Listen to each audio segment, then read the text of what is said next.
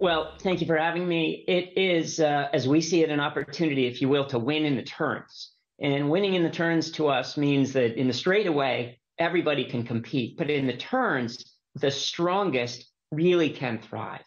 And that's really what we're after at Dynatrace is finding a way to take our leadership position and extending that through the turns that we're seeing in the macro environment.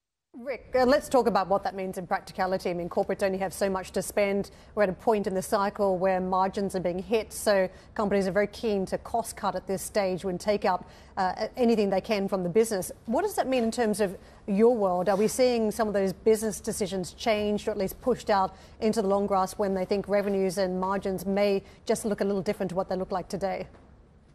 Well, we continue to see very strong spending in the digital transformation space, and that results in significant increases in cloud spending. We need look no further than the hyperscaler spend from last quarter. You look at an AWS, Azure, Google Cloud, combination of them last quarter delivered $160 billion of annualized revenue, $40 billion in the quarter, growing at 35%. This is indicative of the aggressiveness with which organizations are moving to the cloud.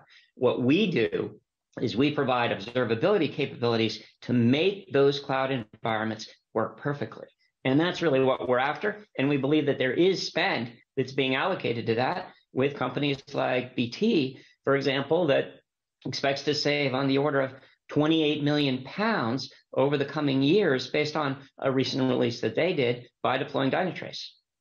Um, Rick, market cap matters, uh, and as, uh, as you've pointed out in your own notes, I think here, or your team has, um, your market cap halved in less than 12 months uh, through to, what was it, 11.7 billion as of uh, September. So it's probably stabilized a little bit now here, but it is an important measure for companies in terms of um, how they're perceived by the market um, how creditworthy they perceive to be, and, and how much investment they can actually make in their own businesses.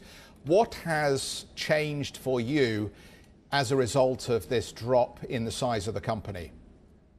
Well, we continue to invest and invest aggressively. We expect to add on the order of 800 people through the course of uh, our fiscal year in fiscal 23. And as a business, we're doing just great. The the uh, points that are really in our control are our own performance. We continue to operate in the mid 30s percentage growth range of annual recurring revenue on a constant currency basis.